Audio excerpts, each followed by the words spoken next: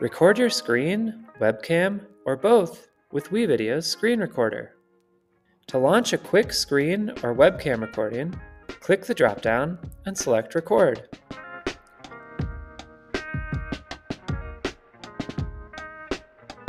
When you're done recording, preview and re-record or click Save.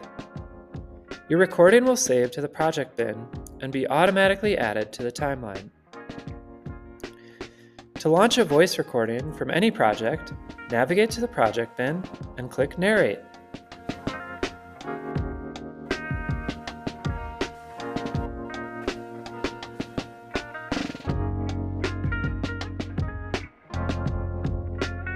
Voice recordings are added to a new track on the timeline labeled Voice Recording.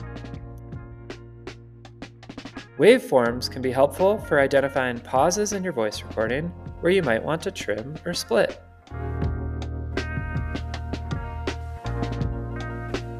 To launch a webcam or screen recording from any project, navigate to the project bin and click Record. You can launch a webcam, screen, or dual recording. If you need a silent screen recording to pair with a voice recording, select No Audio. Screen sharing a tab automatically crops out the menu and address bar, showing just the content you need. Just remember to click Share this tab instead if you change tabs, and click Done to stop the screen recording. You can also record both your screen and webcam simultaneously.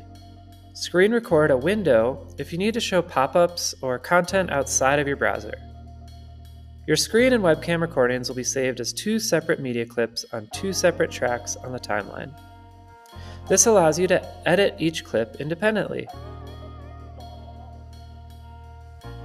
To launch a quick recording from any screen, download the Chrome extension from the Chrome store and pin it to your browser. The same three options are available webcam, screen, or dual recording, as well as annotation tools to draw on your screen. Send your recording to WeVideo to edit, and when you're done, export.